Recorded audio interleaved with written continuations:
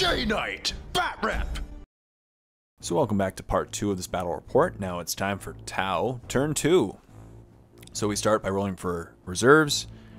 His Farsight does not come in, but his Necron Flyer does come in. There he goes, flying it in. He decides to move his Fire Warriors back slightly to turtle them up in case I try to assault. Then he can overwatch with everyone and pretty much wipe them off. That is the power of the new Tau. So it says he's just moving everyone within really close proximity to each other.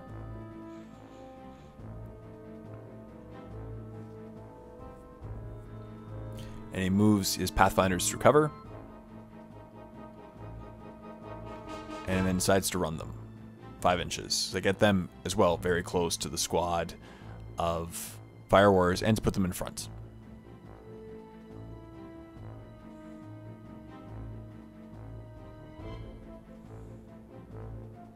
So he starts by trying to finish off that Razorback with his Night Scythe. Needs three hit, reroll, because they're twin linked. Gets four hits, but no sixes. And then gets one penetrating hit. Rolls on the pen chart, doesn't blow it up, so it's just a wreck. And then the squad disembarks. And they roll off camera for their leadership check, and they did pass. He then shoots his marker lights from the Skyray at the Razorback, fails both of them, and then shoots the remaining missiles. So their strength 8 get 3 hits, and they get 1 glance and 1 pen. He rolls a pen of 4, so it's a weapon destroyed. I roll to see which weapon he destroys, 1, 2, 3 being the plasma, and I roll a 2. 4 plus would have been the lascannon. He shoots then his broadsides at the other Razorback. Get a bunch of hits. And out of all those hits, they roll one pen and two glances. Sorry, three pens and one glance. So I roll the three pens and I pass all four of my cover, three of my cover saves, and then I pass my other cover saves. So actually, nothing happens. Since the Fire Warriors can't shoot at really anything, he decides to run all of his Fire Warriors just up once again a little bit. Make sure to keep them pretty close for combined Snapfire. Or sorry, combined Overwatch. However, they're not running very fast. They're more like power walking Fire Warriors.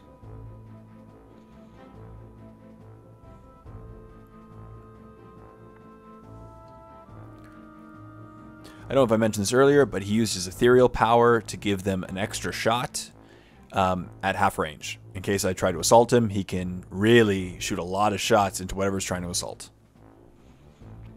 And he moved up his other squads just one inch. And then during the assault phase, he does his normal jumping with his crisis suits.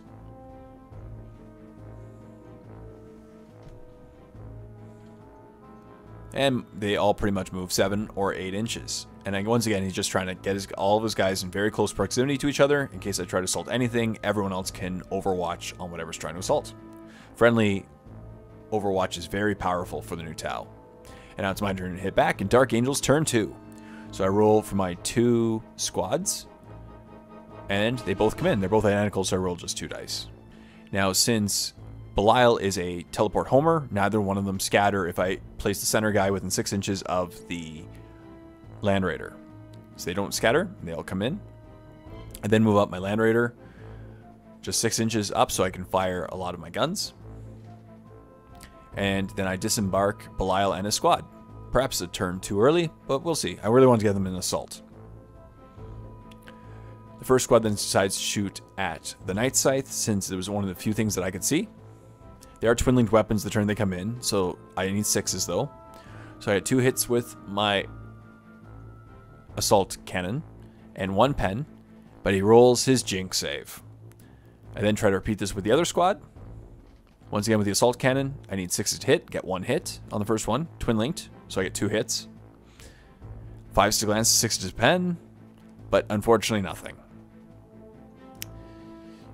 Belial squad then shoots at the closer Pathfinder squad.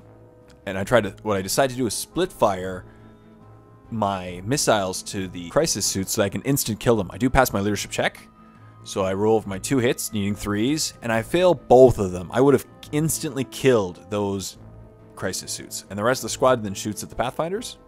But this time they all hit. And then my leader shoots as well, Belial. And I about eight hits total. And I need threes to wound. And I only get one non-wound, so he gets tons of wounds, but rolls really well in his cover save, so I only kill three of his Pathfinders, but that's enough to make them roll leadership check. My Land Raider decides to flame the closest individual and then fire the assault cannon at full ballistic skill on that squad as well. So all four of the hits from the assault cannon. And I get three wounds. And then the one flamer also wounds. So then he rolls and fails three. So three of his fire warriors, sorry, four fire warriors total die. That one Razorback then tries to snapshot the Skyray, but fails. So then he does his leadership check for the squad of Pathfinders. And he fails. So they're going to run how many inches back? Nine inches back, putting them well out of reach of Belial and his squad. So essentially now I can't assault them. Things are not looking too good for the Dark Angels and the other squad passes its leadership check. All right, so after two turns, here's what the battlefield looked like. Not a lot of Dark Angels left. Well, my bodies are still there, but the vehicle, I don't know. It's gonna be fun. This next turn, things are coming that are really, really scary. But uh, we'll see what happens. And uh, the tower is still alive and doing well. Luck is just not on the Dark Angel side. We'll see what happens in turn three. So thank you very much for watching this part. When you're ready, click on the link below to go to part 3 of this 40k battle report.